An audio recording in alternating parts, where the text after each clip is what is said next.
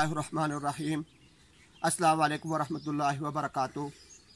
میرے بھائیوں اور دوستوں کرونا وائرس اس وقت بھی پوری شدت کے ساتھ پوری دنیا کے اندر پھیلتا ہی جا رہا ہے۔ اس کے اندر ابھی تک کوئی کمی واقع نہیں ہوئی۔ اس کرونا وائرس سے بہت سارے ممالک ہیں جو شدید متاثر ہو رہے ہیں۔ ان کے اندر امریکہ کا نام بھی ہے، برطانیہ بھی ہے، فرانس، جرمنی کے اندر بھی ہے، ایران ہے، اٹلی، اسپین یہ سارے کے سارے ممالک ہیں جو بہت زیادہ متاثر ہو رہے ہیں۔ ہم بحثیت مسلمان ان ممالک کے اندر جو لوگ اس کرونا بیماری کی وجہ سے متاثر ہوئے ہیں، ان کے دکھ کے اندر ہم برابر کے شریک ہیں۔ اور اسی طریقے سے اس کرونا وائرس کی وجہ سے جو لوگ ہلاک ہو چکے ہیں، جو فوت ہو چکے ہیں، ان کے لواحقین کے دکھ کے اندر بھی ہم برابر کے شریک ہیں۔ میرے بھائیوں اور دوستوں میں اس کرونا وائرس کی اس موجودہ صورتحال کی کو سامنے رکھتے ہوئے دنیا والوں کے سامنے، دنیا والوں سے ایک بات کہنا چاہتا ہوں کہ جس طریقے سے اس کرونا وائرس کی وجہ سے ہم لوگ اپنے گھروں کے اندر قید ہیں، محصور ہیں، بہت ساری مشکلات کا ہمیں سامنا ہے، اسی طریقے سے دنیا والے اس بات کو بھی ذرا سامنے رکھیں سوچے رکھیں کہ کئی مہینوں سے ہمارے کشمیری بہن بھائی جو ہے اسی اذیت سے دوچار ہیں۔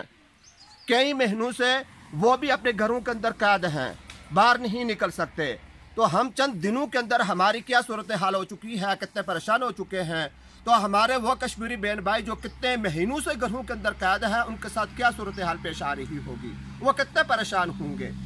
دنیا والوں کو اس کا احساس ہونا چاہیے، لیکن اس کا احساس بالکل بھی نہیں کسی کو۔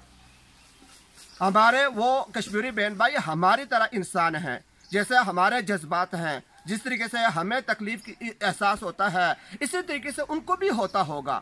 دنیا والوں کو یہ بات ضرور سوچنی چاہیے۔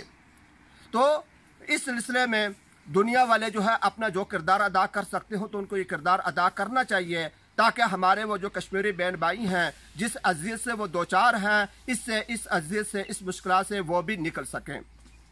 اسی طریقے سے دنیا والوں کے سامنے ایک بات یہ بھی میں رکھنا چاہتا ہوں کہ جب دنیا والوں کو، کسی بھی قوم کو، کسی بھی مذہب والوں کو کوئی تکلیف پہنچتی ہے، تو ان کے دکھ کے اندر ہمیں بھی دکھ ہوتا ہے۔ ان کی پریشانی، ان کی مصیبت کی وجہ سے ہمیں بھی دکھ ہوتا ہے۔ لیکن جب ہمیں، ہمارے مسلمانوں کو، ہمارے کشمیری بین بھائیوں کو تکلیف پہنچتی ہے، تو صرف ہمیں ہی دکھ ہوتا ہے۔ اس کے اندر دوسرا کوئی شریک نہیں ہوتا۔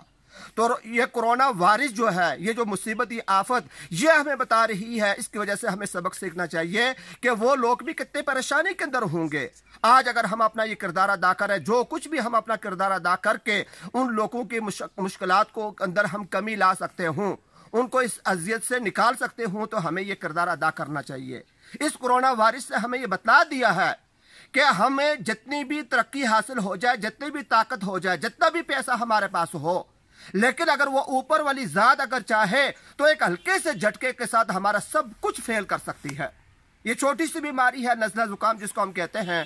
اوپر والی ذات نے اس کو بگاڑا تو ہماری ساری کی ساری ٹیکنالوجی، ہماری ساری کی ساری سائنس، ہماری ساری کی ساری طب، میڈیکل سب کچھ اس کے سامنے فیل ہو چکا ہے۔ اگر اوپر والا اس کو اگر ڈبل کر دے، اس کے اثرات کو اگر زیادہ بڑھاتے تو ہم کیا کر سکتے ہیں؟ تو اس سے، اس کرونا سے ہمیں سبق سیکھنا چاہیے۔